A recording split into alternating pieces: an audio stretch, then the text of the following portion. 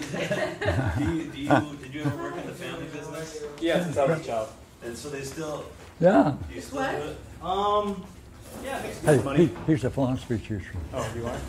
Yeah, they pay him to do to play to play philosophy, Mm, okay. right? I, I thought it was amazing in the dream Yeah. where the symbol from your parents' job Yeah, yeah, reappeared. makes you have to go pick those up. You're forced Mm-hmm. after the high state, Mm-hmm. and uh, and you nail it on the head by you know the job. Yeah. You know you have to do your job. Yeah. In that scene, the uh, family teaching. Mm-hmm. And, and the description of the girl who turned and said, I'm leaving him because he doesn't understand me. That was Was that- great, wasn't it? Yeah. Yeah. And Yeah. so what do you see, what do you see, Mm, well, what have you been talking about? Are um, people understanding you? Or, well, you answer that, I should. yeah, When people would take yeah. these. Yeah, yeah, they kind of understand me. They, they kind of, they've got, they've gotten used to the way I've changed and thought. I, I, Mhm, I, I mhm. felt like I could be more open with them. And, um, they're more, they're more open to like, like using the same stuff that I've learned to help myself. Like, yeah. Anybody want coffee? Should I make some more? Nothing sure, at least I have been. More coffee, Pierre? I have it right here. I'm nursing it. Yeah, do that. Ah. Would you like me to? You're good. Okay. Yeah. Yeah, it was interesting to end with fear, Uh-huh. And then you went back to the fear. I was almost thinking you said it, it was all here. I was wondering if the fear made you made you take a pee. Uh-huh. No. Okay, uh, No, but there's actually a funny backstory to that. Because I, I think when I woke up from that pee, like I, I, when I woke up worried, it's because in other dreams I had woken up. In one dream specifically, I had woken up in the dream to go use the restroom, and then I had actually woken up, and I'm like, like I started peeing. I'm like, oh no.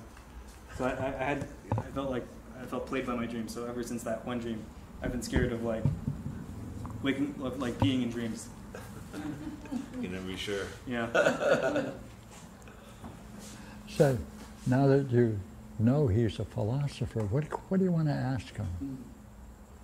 He's open to any question. I happen to know him. I know him well.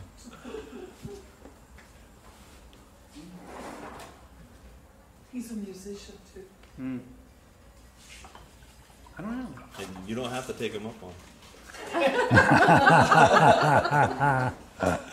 I'm not afraid to say what I don't know. I'm not.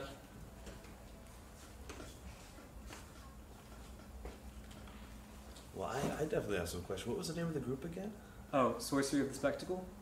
But- You, you, you can't be on the Reddit because the Reddit is completely different than the group than their than the group messaging system. And the guy who used to run it basically left, but he still has his archived like uh, like recordings, audio recordings on there on the group chat. So if you ever wanted to listen to those, Awesome. yeah. And you said they, they've all f- figured out all this postmodern, modern stuff goes back to Neoplatonism? Yeah, Interesting. yeah, yeah, yeah. What ideas in particular, do you know? Um.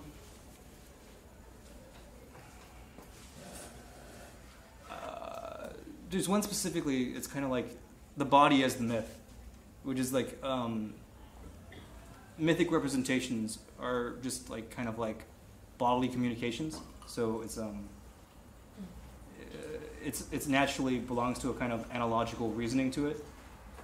Um, but it's also kind of irrational. But it's it's kind of like um.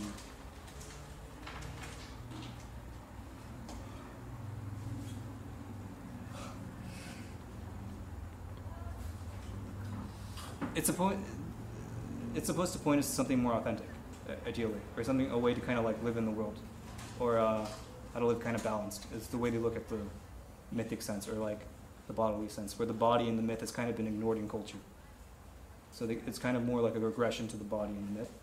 Because uh, the way they look at logic was as a kind of like natural pathology, where um, logic has categorized and standardized um, ideas, and out of these ideas, we form like architecture and bureaucracy that is kind of like um, made, like, kind of alienated humanity from, like, from myth and body itself through the overusage of logic, because logic acts as a kind of like, um,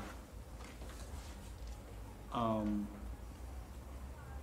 is like patho- pathologically generative, and then it creates um, a lot of categories that that are kind of baseless without their myth, and they kind of like um, where the like the model itself usurps the myth, or like the actual meaning in the myth, and it's trying to understand how to return back to something that's more meaningful, rather than being stuck in the kind of like empty symbols of reality created by uh, runaway logic. And, and so the body Yeah. itself, uh, it has a logic to it. Yeah, an analogical one, rather than like a pure like, um, rather than like just like standardized categories. If that makes sense. So regular logic, standardized categories, yeah, yeah, yeah, and this analogical. yeah, yeah, And so the myth and the body. yeah. It's just it's yeah, it's trying to return back to a kind of sense of personal meaning. Ideally. Um, Is, is, is the body a myth? Mm, mm, mm. I think they look as I think they look like myth itself is like kind of like uh, the body attempting to rationalize something rather than like people generate culture that generates a myth it's the myth that generates it's like the myth that kind of comes out of the irrationality of the body gives rise to culture and gives rise to logic. I think that's more what they were trying to go to. And so logic itself is a product of this. Yeah, yeah, and yeah, Analogic yeah. is hopefully getting out of that. Or using it again. Yeah, it, more more like balancing it, because the way he desc- uh, the way the guy described it to me um, was that the the West essentially killed off the mythic and had like a logic centered reality that kind of left behind a sense of like real through like through kind of like dogmatic bureaucra- like bureaucracies. Yeah, I, I'm, I'm fascinated. This is amazing. Yeah, And so myth is Yeah. analogy, yeah, and that was cut off yeah, in place of logic. yeah, And so you want to get back into yeah, yeah, the analogy, yeah, analogic. yeah. How, how do we get back? Um.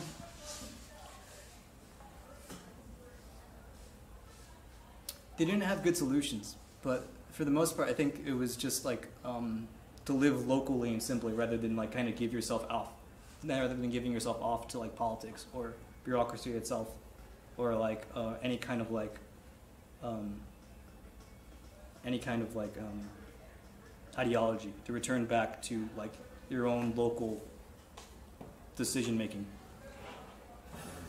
Personal. Yeah, the personal. hmm And then, um, Does Yeah. that include the self?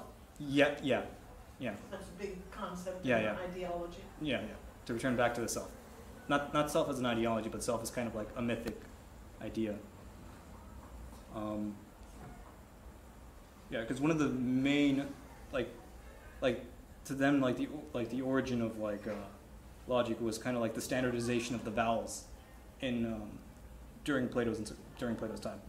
That kind of started kind of like the birth of standardized word, where things were no longer memorized by kind of like biological memory, and a kind of like a, uh, the like a secretive police like a secretive priest class. Things are more like a, like you could share standard like like the standardization of the alphabet standardized categories themselves, and from there things kind of rolled on.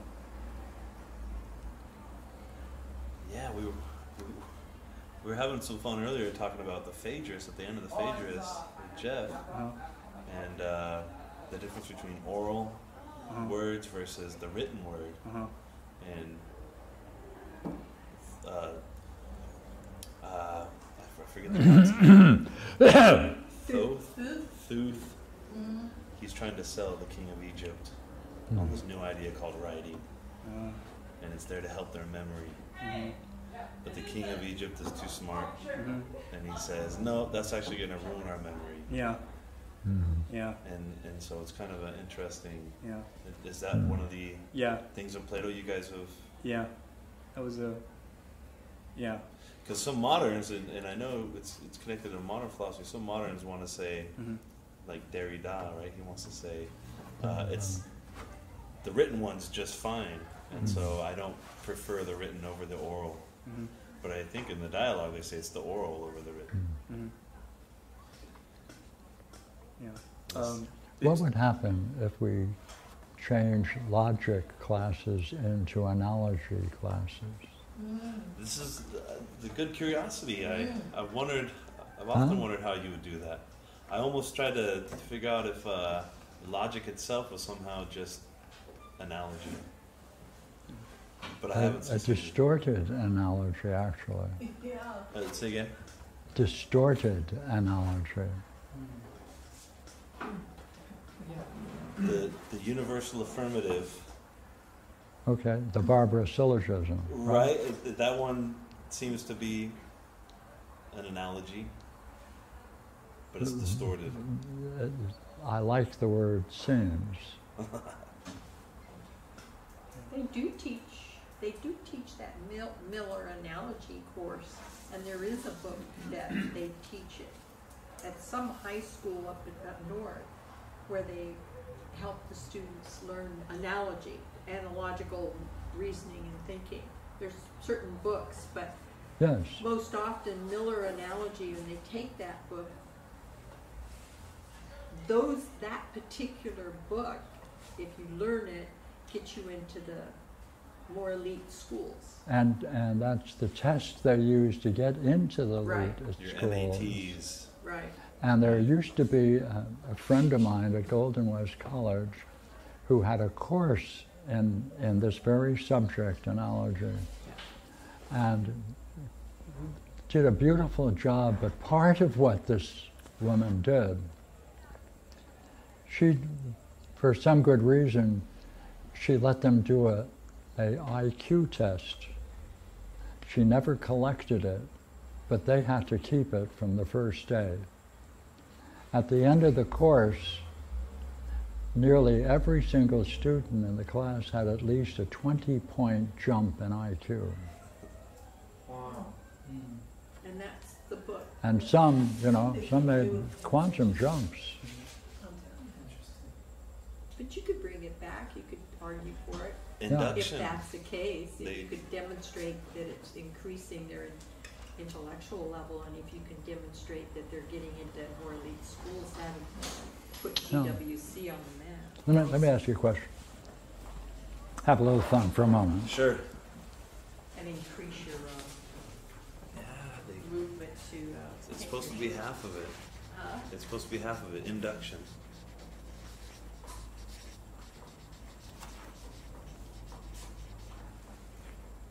What's it right in there?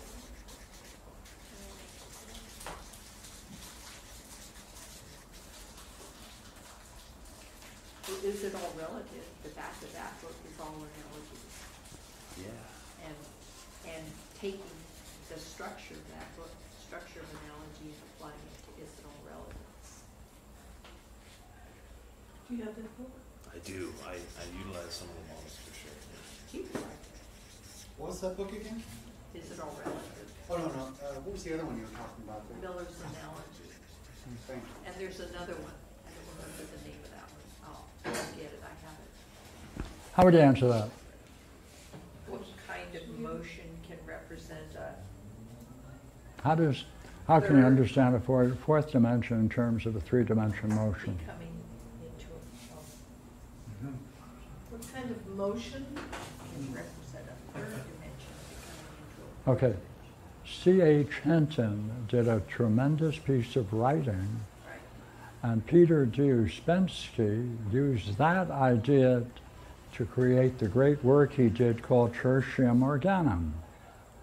You know what he did?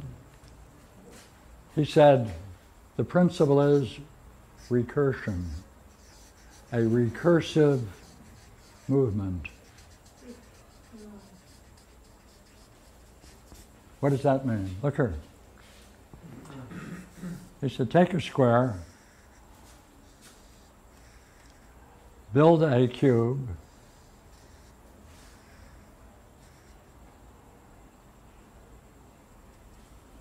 and he said, if you want to show a fourth dimension, then you have to follow this principle that a point moving in a direction not contained in itself creates a line. That's a movement from one into one dimension. By the way, a line moving in a direction not contained in itself becomes a surface.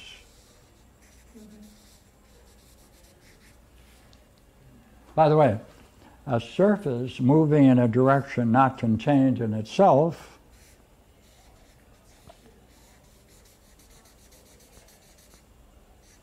is a three dimensional object. Right? So he said, uh, you have to then consider the possibility of a translation of a three dimensional figure into a fourth. How do you do it? He said, consider the fourth dimension is unknown, and you move, therefore, the object in terms of that. Okay, look here. That would be taking this side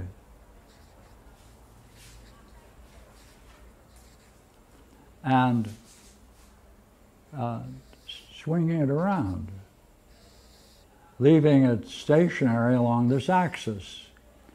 So therefore, you would have, by the way, the same thing would be true of the back, because the same principle as this itself would have to. Oh, by the way, so uh, now that's the back. By the way, you can do the same thing, all right, uh, with the lateral translation on both sides. And now we can do it with the back, right? So what would you do if you moved it, therefore, you would then move it in itself, right? If you move it in itself, then this is the back, this is the back, therefore the back becomes the front. By the way, you know what you would be doing then? By transforming a three-dimensional cube into this figure?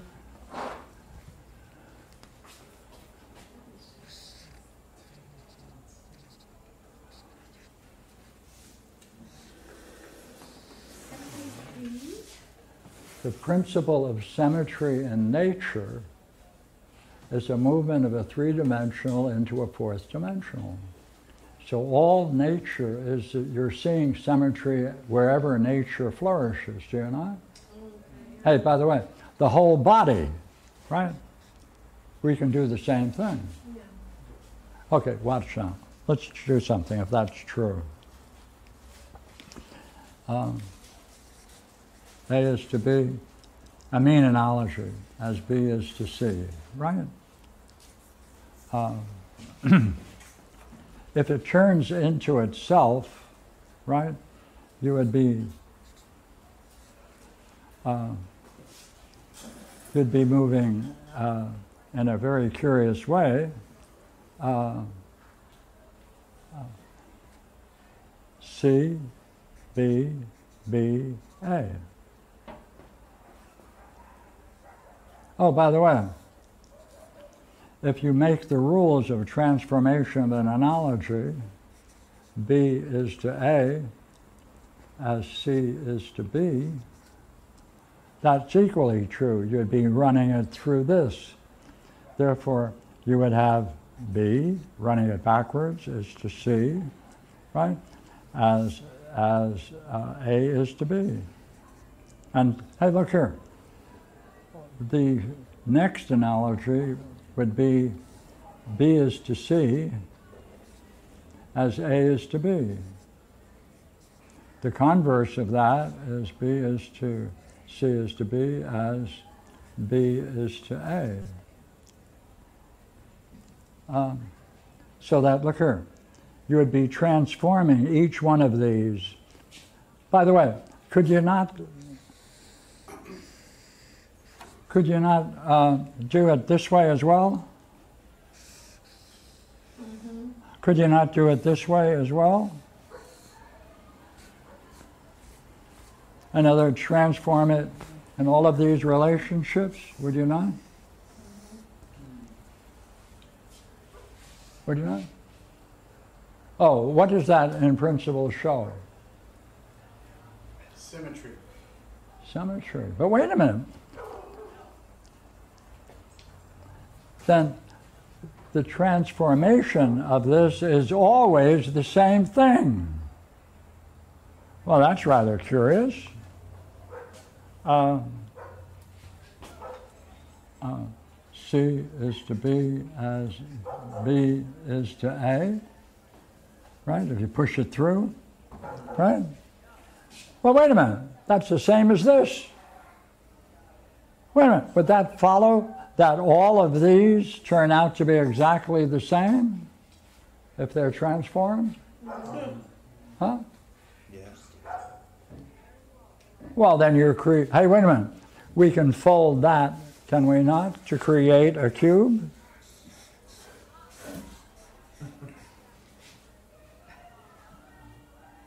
And it would show the same thing. Or the only thing we're missing is the back.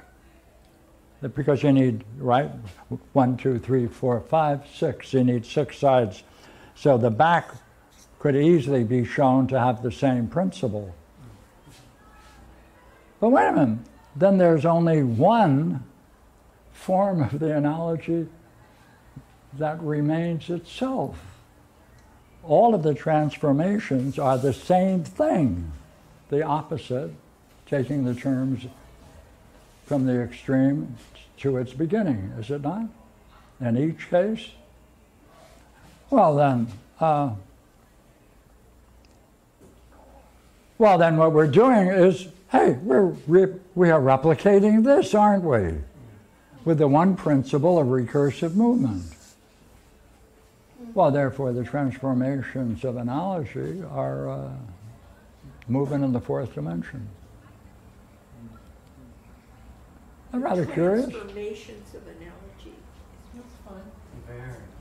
We have done nothing but show the transformations of the initial analogy okay. following a recursive movement. Oh. Recursive is turning it upon itself. Ah, that's an additional term. Do, do you find that interesting? That Yeah. this is the only form because all the others are taking it in a similar way. Therefore, that is unique. All of these are the same.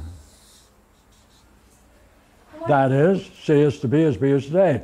C is to B as B is today. C is to B as B is today. C is to B as B is today. Yeah. Well, if Um, would you would you um, be able to do make an example of an analogy? It's a bit too abstract for me with Yeah, just A, B, okay. Um, well, this one. Um, Two is to Uh, okay, let's give the best one. I like this one. Grand, grandparent is to the parent as the parent is to the child.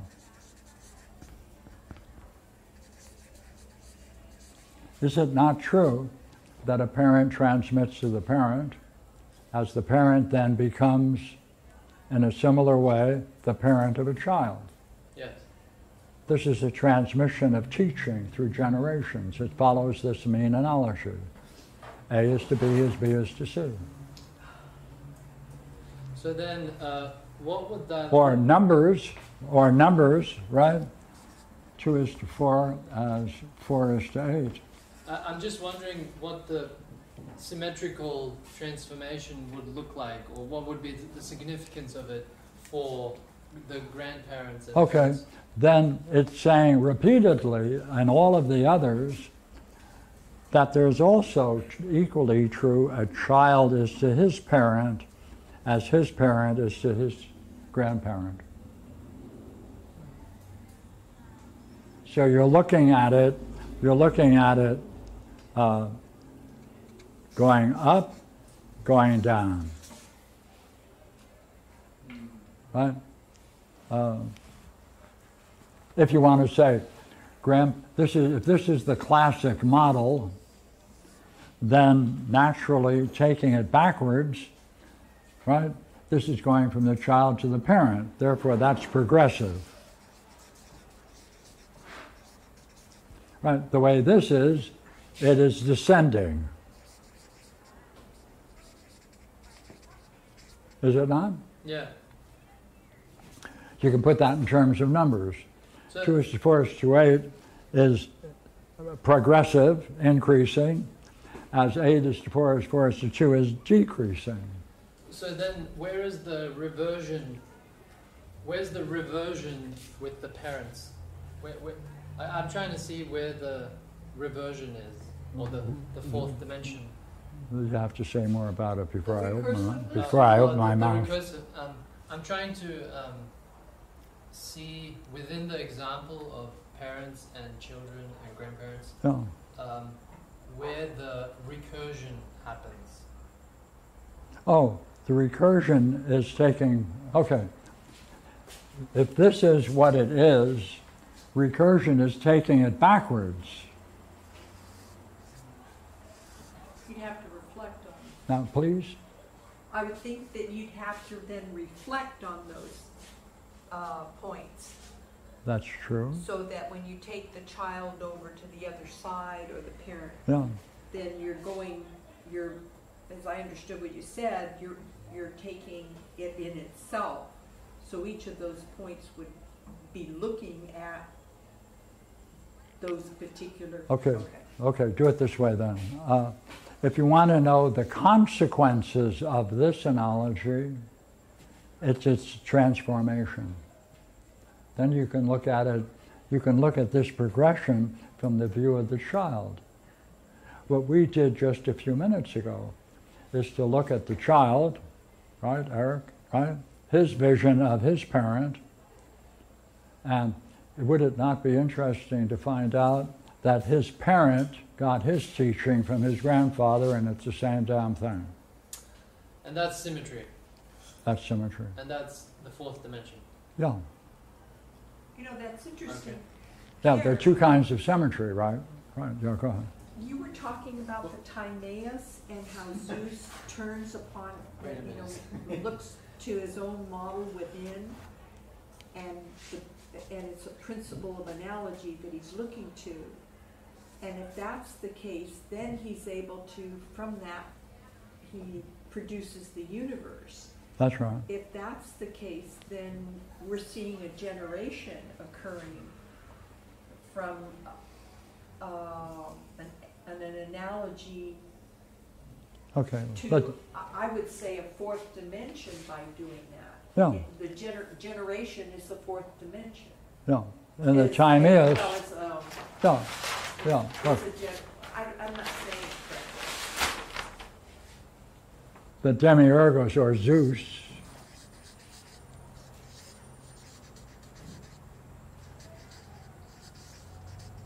Right? He focuses on his own mind and generates the cosmos. Cos- and the all.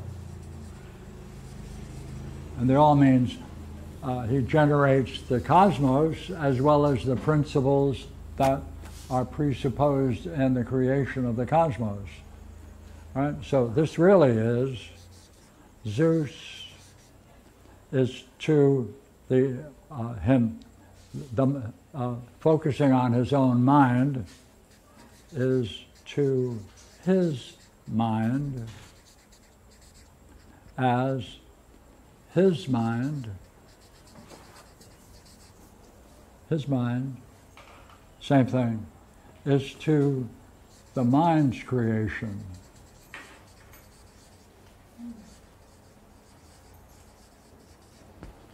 Right? Now, uh,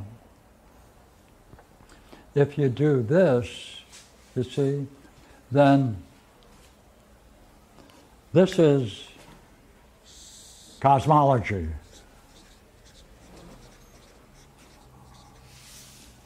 But this is, by contrast, what the mind generates as its own creation is the pathologos.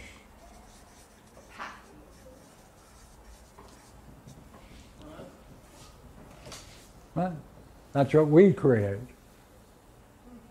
So, uh, again, this is high, this is low. And you can study the pathologos and you can discover that the mind's creation emerges from one's mind, but where does that come from? That must come from its source.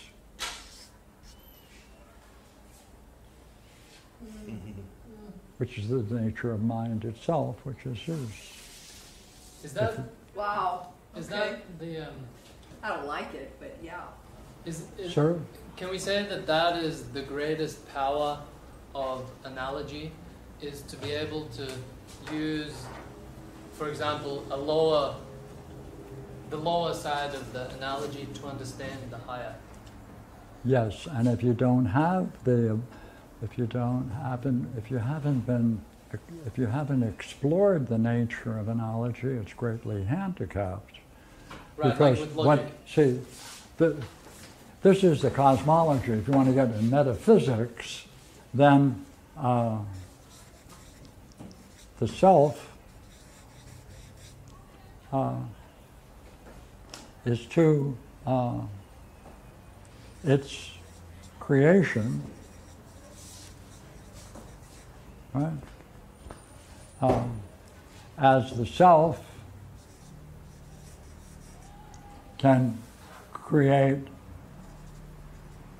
its creation. Right, same thing. Right?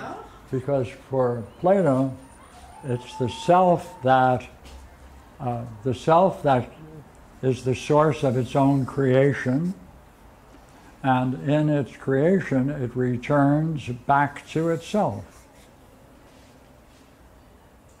Or put it this way, uh, the one self, as he calls it in the Parmenides, right, is to the brilliant light of being.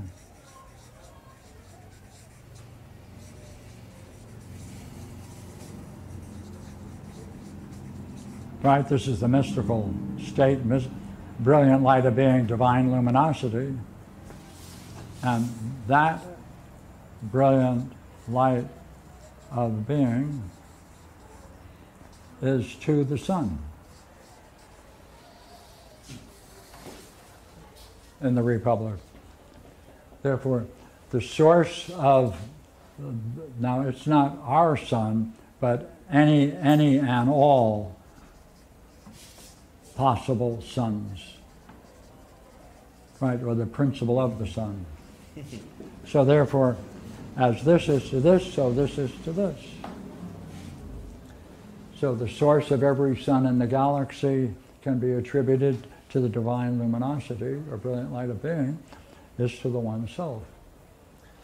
So if or we, if you use an old copy of Plato, they call that the one, but they skip the word self.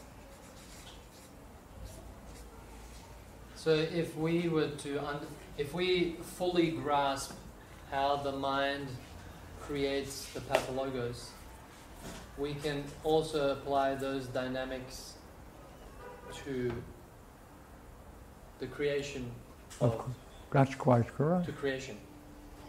Right, because why is that true? Because uh, take these two.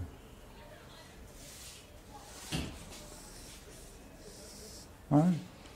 Um, why is it that with Eric's story, his parents must have at that moment when they gave him that pathologos, they must have looked most real, sincere, what he called compassionate. They had to appear most ideal, believable. Well, this stands to a young person similar to this. Right. And therefore, in that state, they generate the pathologos.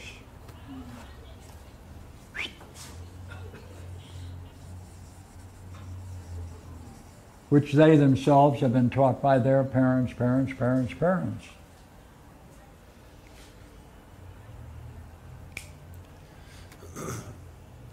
And the logos, Yeah. the Yeah. logos, not the pathologos. Yes, you find then, the other yes, side. now, the logos, okay, the same way now. Inherent in the experience, this experience, inherent in that experience, people say, oh, you mean beauty itself. Oh, ultimate reality. The mind knowing the mind.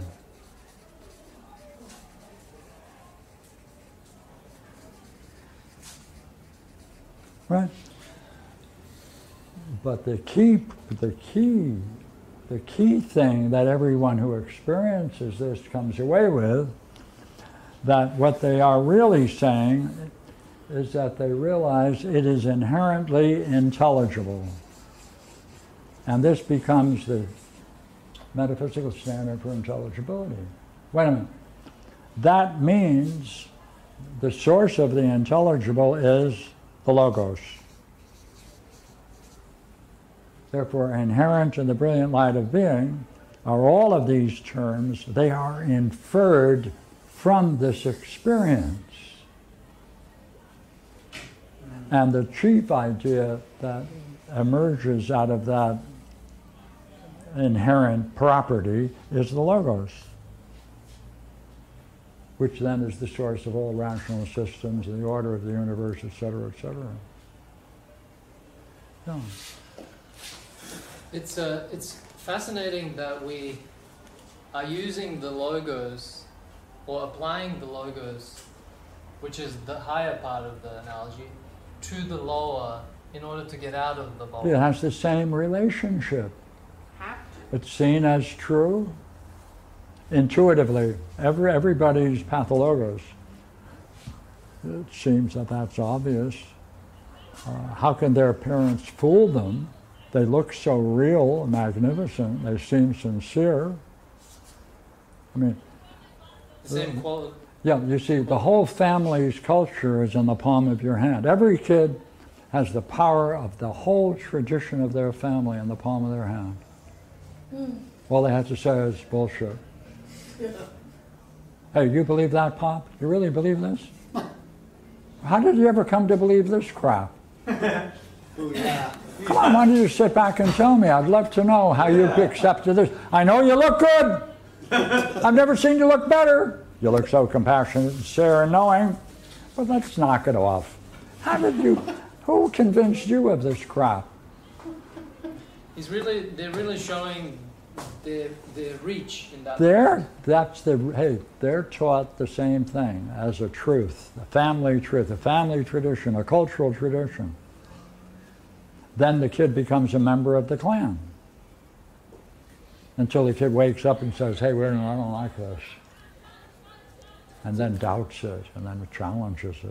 Yeah, but go ahead. I It's, talk it's, too it seems kind of almost like a risk for the parents to do that. Yeah, would you agree that everything in a person's life follows from their pathologos? Yeah. Look here, it's an imagination superimposed on their reality. That's what determines all the values and their experiences, not, not, not the reality, but what they superimpose upon it. It's intertwined and it becomes one until they question it. like you get imprinted with something, Yeah, yeah. branded. That's why Homer is so important to read, because throughout all of Homer, especially the Iliad, he uses the idea of self in the most brilliant way. You know, like everybody who's doing whatever they're doing, when they use the word self, that's honorific. They're showing their true self. And there, we, we don't have any work like that. Of course, you don't find it in translations, but you can stick it in, you can see it yourself. Or get the Greek and look it up. Or ask someone who knows the Greek where it is, and then you can see it. It's only about a thousand places. now, Barbara, how many times it is in the Iliad? Do you know offhand? Sixteen hundred, didn't we find sixteen? Huh? Six, I thought we found sixteen hundred. That's 1600, but then there's a qualification of that, I think. That knocks it down, you mean? Yeah, let's keep that. Only 1600 times, that's not many. I mean, that shows it's not important. What? See, that's Greek philosophy. Greek philosophy is all the nature about the self. I know what you're talking about. Yeah, it's, yeah, it's not sixteen hundred, it's, it's. Yeah, the one self. Because there's two form, two words that come up in the search, autica and uh, autain, neither of which are related to, directly to autos. Good. And its declension, so, Yeah. somewhere I, like I that. like that in, in Eric's dream that the guy who Mary's hanging out. Wait a minute. What? You're going to talk about your dream? No, Oh, why not? I said Eric's dream.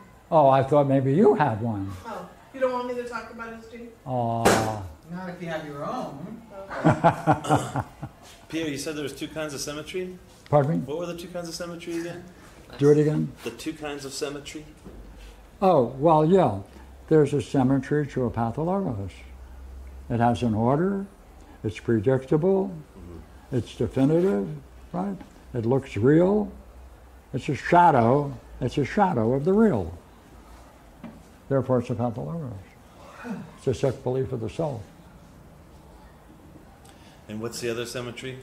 Physical. That's, but see, that has a, it's, it's predictable, it's definable, it can be structured, it has its own language, it's a private language, everyone has a private language for the pathologos. Therefore, it has a symmetry to it. A low level, but like, wouldn't you agree that every person who has a child that has some mental deficiency, they would love them to have a problem, a pathologos. You Because Because you need a certain level of, Yeah, it's, it's a- of intelligence function That's in order right. to have a problem. that's right. You have to have a certain So, level of intellectual comprehension, to have a problem. That's why they always start right before. Hey, the most problems occur between you know five and eight, you know five and seven. Going going into school is critical, depending upon what school you go into, as more or less. Oh. How, how do you resolve bodily pathologos? Like something taught through the body rather than through a kind of by word. Yes, keep saying more about it. Like instead of like say pathology through like a false beliefs taught through the body rather than taught through vocal beliefs. How do That's you resolve true. those? And it affects the body, it affects the throat, very right, and you Right. carry that for the rest of your life whenever you come into a situation similar to the uh, Right. initial introduction. Yeah. To add to that, you put words on that, on Right, the elements of the body that you're affected, i- is affecting you. right. But uh, like, but what about like, uh, Like what you did with the Mhm, neck mhm. and the head. right? So you add words to those, and it'll help you trace back the, the state of mind. So this kind of state does not exist in animals or like in pre-linguistic man. No, no. As a matter of fact, it's likely if that condition that you had were uh, unexamined over your life, you'd end up with problems in the throat and the chest, right, and the neck. And Mhm. Different kinds of cancer, right? Mhm. Because the, con- being in that state of mind of a pathologist has somatic impact, Right. and over time that manifests itself in various diseases. Yeah. Would you believe that? Uh, I'm, I'm, yes. Mhm. Why does she say that so sincerely? Let's see how many times I've been in the hospital. yeah, you've seen it. Many times. Yeah, Direct connection. yeah. Living, we live our, well, I, doctors are here to treat our pathologos, Yeah. You're somewhat of a master of. of pathologos and doctors. Isn't it curious? Isn't it like to more, Isn't it curious that, that I'm Hold it, hold it. I find it curious that the, the symmetry between, right, you have the logos and then the pathologos, and like, where did this first begin? Or, you know, this image, like it, it, it's, uh, When Uh, did it begin? Go well, ahead. I was wondering, and then it, it seems like, um, I mean, that's what's happening all here, right? With, with the parental giving an appearance of that real Mhm, state. mhm, mhm. and then it's that appearance generating this problem. Yes, Um, and you're asking, well, it just it, it very much seems like that's what is occurring here. That in one form or another, you're trying to get clear on the real, what's actually real, right? right, right. Just Well- the symmetry between them two is very interesting to me, and it's. Uh, It, Uh, it, it has its own logic, has its own images, can be communicated, and each family recognizes that one has accepted it. Therefore, there's an instant communication and recognition of its pattern that you accept. That is totally, totally unknown to an outsider. but it, it could have it could have gone the other way. That's like true. You're actually teaching genuine, uh, the genuine. Yes. What does that do to the family? Well, I'm wondering what it does to all of mankind. If, you Go know what I mean? Just if it was the other way, like, Yes. and and it was not a pathos, right? And there was actually genuine, uh, Finish it? te- genuine learning and Then- genuine teaching. And you're asking what would follow if that were the case. Well, it's just very interesting to me. Like, Because, because, come on, keep going. It Dayan it is going to ask me- No, no, I, I have, it seems th- the grounds for being here are not being clear on that state. Like that's why you come here. Mhm, It seems like to me. mhm. I don't know. What do you guys No, think? Not being clear about that state means to you, go ahead. Well, that's that's why you were born. I think. Like uh, it seems like that is the uh, precursor for Yes. possibly coming into a body here. Right, right, right.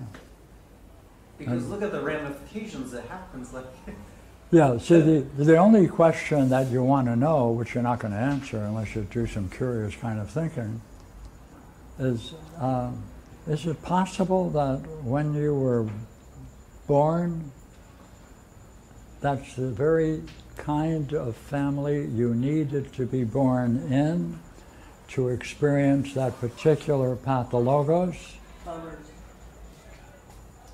And therefore, every birth presents you with a unique kind of learning that you need for your own destiny into the next and next reincarnation.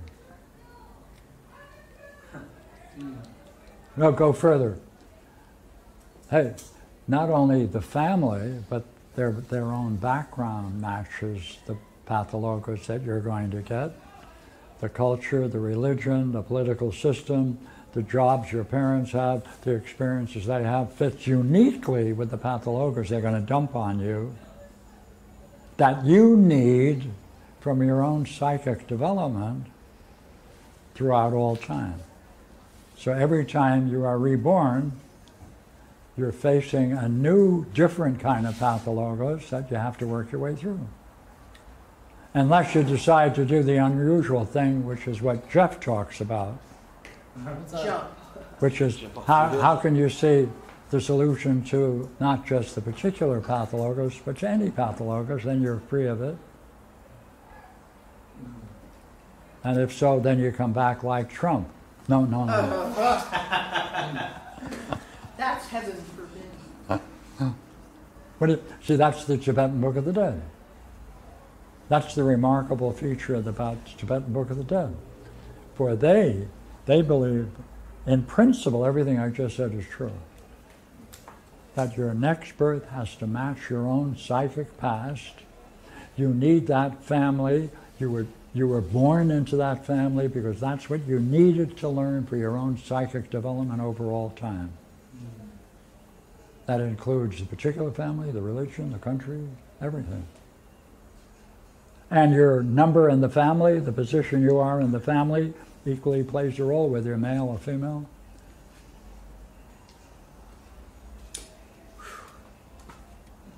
Good book, by the way, in case you ever wonder about it. It seems to me, though, that within a philosophical tradition like this one, ours, um, you can. Uh, now I'm going to move into the Tibetan or the Buddhist terminology. Uh, you can slow that wheel using putting the mind onto the pathologos, That's right. so that you're not creating new karma to jump into the next life. Yeah. Instead, you're using understand un, understanding to unwind the karma. Yeah. And it seems to me you would uh, have fewer lifetimes left as a result. You'll, you'll, you'll progress spiritually much faster. So even if you die without knowing, the only thing in the next world you meet is someone who's going to say, "Hey, um, what did you discover?" Are you gonna be there? What you discovered is you were stuck in your problem. That's what you needed to see. Oh, go to go back. so, um, I mean, it has to fit. Otherwise, we're in an irrational world.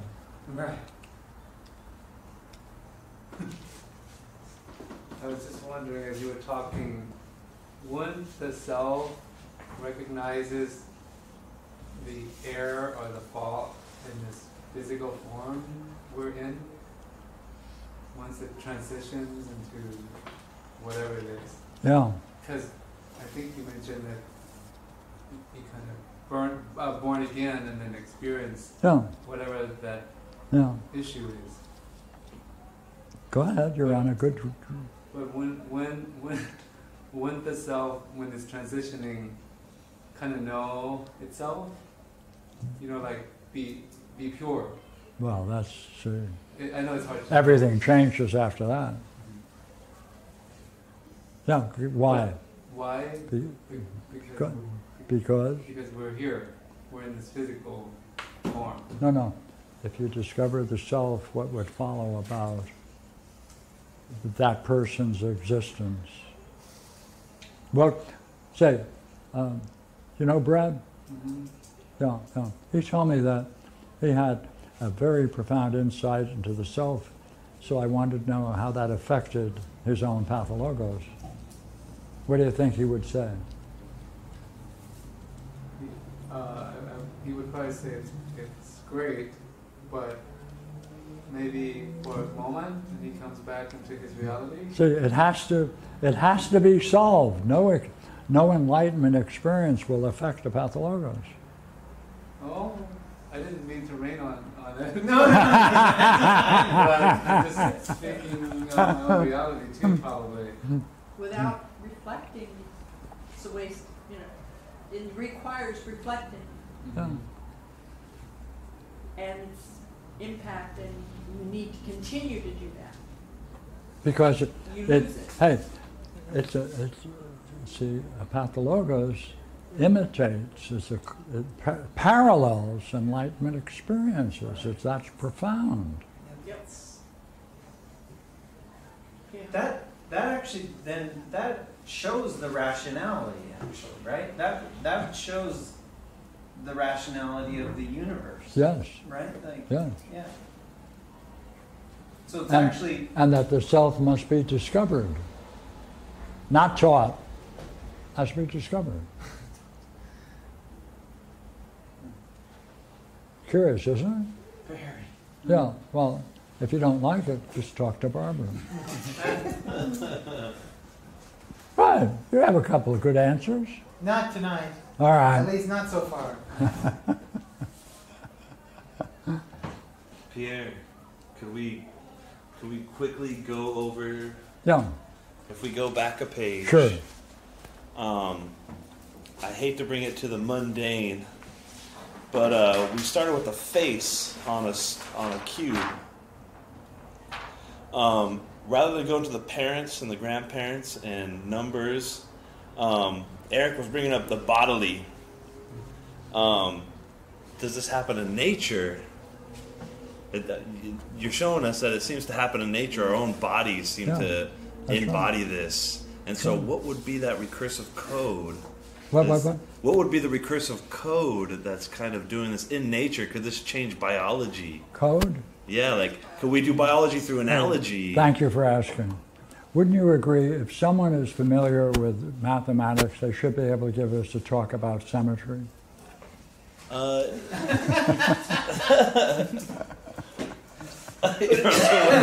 See, that's what Noether uh, generated, the, the most remarkable woman in the history of mathematics.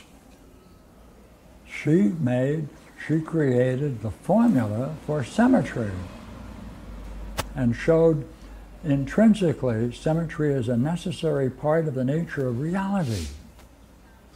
One formula. And that? Jeff is going to give a talk on it. Oh, there's a woman who did that? Yeah, Yes, Noether. Emily, I believe it was first name, Emily Noether, uh, uh, 20th century physicist, highly under under recognized, uh, saw symmetry in essentially everything, Yeah. And worked with people from many different fields, uh, catapulting their careers by uh, showing each of them how uh, there was symmetry in each of their And individual areas. Einstein said she was the most remarkable mathematician of the, of the 20th century. And Just learning nobody, to this day, nobody still, nobody knows her. Yeah. But you're gonna give a talk on her next week? Well, I've never read anything from her. Everything I know about her, I've heard from Pierre or Wikipedia. But Ask Pierre. It's a beautiful formula, and we need someone to come in and talk about it. He'll do it sooner or later. S- Hopefully sooner. sooner, sooner. Yeah. Does that answer your question about uh, the bodily? bi- I would I would assume now biology works based on analogy, Yeah. nature itself. Yeah, too bad. Yeah, what they've done with teaching and biology. Well, the, when, when you uh, look at a cell, when there's an impregnation of the sperm into the cell, what's the first thing that happens to the, to the egg? Right, it splits. No, it doesn't, it The- turns in. Mm. But, could you do that again? It turns inward Right, right, and before it goes out. So it Did you, produces, did you do it over? an uh, sperm hits the egg, the egg Oh, turns inward. It doesn't go outward, it turn, it doesn't split, it turns inward, mm-hmm. and it actually creates two, two parts then. That's what they call splitting, but it's two parts. But it has to do it, go inward first. So that would make it, that would like move the, it would be a transformative, it would be a recursive movement. Is that your way of saying Nancy's outside? We got, we got a, a family Uber waiting. Okay. see, did you get into the primitive streak and egg, egg bio, uh, embryology? Uh-huh. Talk about it. Oh, I, no. Uh, When you say primitive streak, what do you mean? That's the name for the first organized development in, in chick embryology from which all the cells emerge in the progression of the future chick. Okay, did I ever do that or study it? Yes. Was it in that form, in that way of talking about it? No. Oh. See, unfortunately, years ago, when I was at Golden West College. Uh, I talked to, had a friend of mine who's a biologist, and I said, look, you guys are teaching biology in the wrong way. So we talked and talked, and he said, oh, I know how to do it. And he, he went off and he got a grant. And subsequently, it was all computerized. And therefore, students could literally march into each one of these niches, a little desk that had a particular display of a particular development in biology. The only trouble was, we found out, I did a study on it, we found out that students who originally thought they might major in biology all quit and changed their major because while it was effective in learning, it was boring as hell. They took the mystery out of it. They never encountered a biologist, and therefore it was successfully as a failure. What did they do? Huh? What did they do to make it so boring? They made, made it all mechanical. One, two, three, one, two, three, one, two, three, make your notes, go to the next tune, one, two, three, blah, blah, blah, blah. Mm-hmm. Oh, look at that wild beast. Look at that tail go. Aren't you a little bit worried? He's vicious. Vicious, I tell you.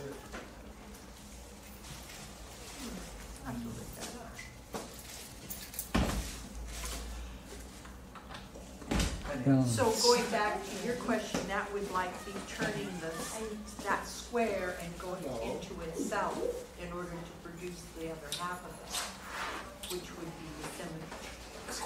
And then take this now and try to find it in every form of nature. Well, it's in every form. Right. But if you take a look at how the cell, as you call it, splitting, it's not split. Sure. It goes inward. Yeah, I like that. This is that follows that follows And this that's recursion. recursive. Yeah. And uh, and so more insights into the body, maybe. So to understand your body, you need to reflect on the state of mind that you have that associates. See, what's interesting is the, the black hole phenomenon is the problem of recursive. The what? It's the problem of recursive movement, the black holes. Oh, the black holes. Is- Right? Right, it pulls everything within itself. Now, what happens at the other end? See, that's what they, that's what they have to figure out, Yeah. That's- because they only have one part of the mystery. Okay, now what happens? Does it produce a couple of That's enlightenment? so interesting. I, I think I've seen a model of that in a book once. Yeah, Yeah. called, Because, see, because the only thing that, pers- the only thing that escapes it is the order of the particular organism or galaxy or star. The order. So information can escape it. Did you say it can or Intelligence can escape it. Intelligence and or. what what what kind of form does that take? Like I'd like to answer your question, but I don't Uh, see say- the fullness of it. Go ahead. you, you say that the only thing that escapes it is the order or the intelligence of it. But what kind of form does that take? I haven't heard of that before. Well, s- uh, what they have literally discovered is the end of the universe. Of each and every universe has the same fate. It will all be consumed in a black hole.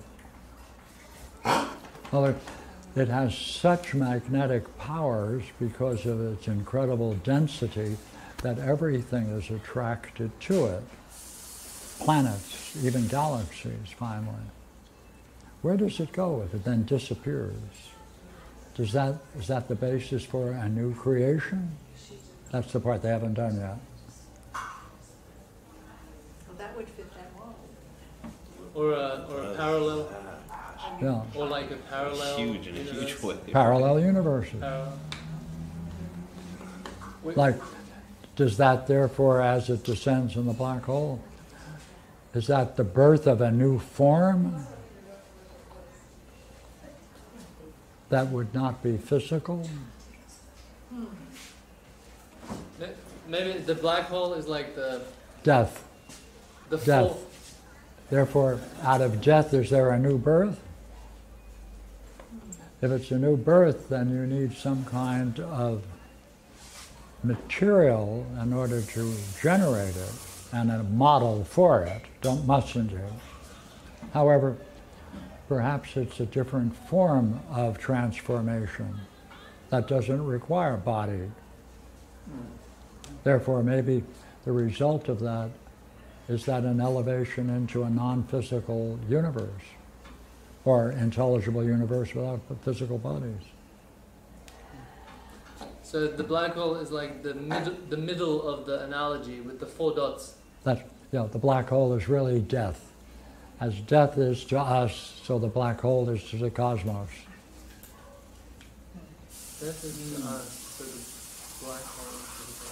As our life is to our death, there's a possibility of a new form of being or reincarnation in our world. Agree? Uh, when The possibility of reincarnation follows death, does it not? That idea? Right. It either is or it isn't. right. But nonetheless, use that as a model. Now, what if death is like at the entry of stars into a black hole? That is their death. Might that not then produce a new condition for a rebirth? That would be non physical. Or maybe it'd be another physical universe. One or the other is going to happen. Wh- Where This is what uh, uh, Penrose and uh, Hawkins were talking about. Ooh, I like this stuff, I just don't know. Yeah, where where does where does the idea that it's non-physical that it may be non-physical where does that idea come from? Like because it's like anagogic or something. it came from a, a, uh, uh, a, sup- a prize in a cracker box. Well, I was, think, I was thinking that if, if you have death, well, I don't know, in terms of a body, We, make your last point. if, if the body represents a form of a pathologos, since that's what we have, then in some way, what would be an alternative if you didn't have a pathologos? Or you didn't get rebirthed into a body? Where would the mind be, or? Well, it is essential Take a that form. you, need a body to have a pathologos. Since But if it's you a didn't- physiological condition for its continuation. But if you saw through all your pathologos, Right. then what would you end up? No body. Would you still have a body? Well, no, you wouldn't have a body that's inhibited by the power of ignorance, creating disorder. Oh, so you the could still have a body? Yeah. Oh, okay. It would be a great body. It'd be a great body. Better than mine. See you tomorrow. Thank you, thank you. Take care, Tomorrow, thank where, you. hey, where, where will you be tomorrow morning? My house. At your house, okay. Thank you, everyone. Thanks, Jeff. Good saying hello? Yes. Pleasure. Yeah, the, the brave Eric, man. Good to Very meet good, you. great. Good to meet Thank you, you. man.